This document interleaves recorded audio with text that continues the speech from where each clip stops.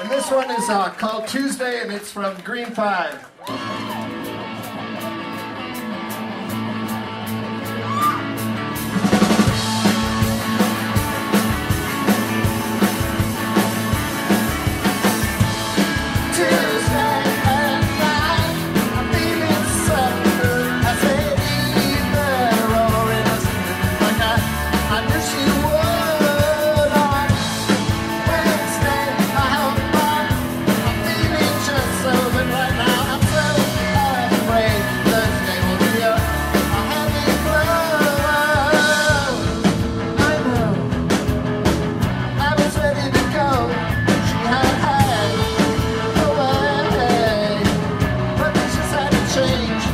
sometimes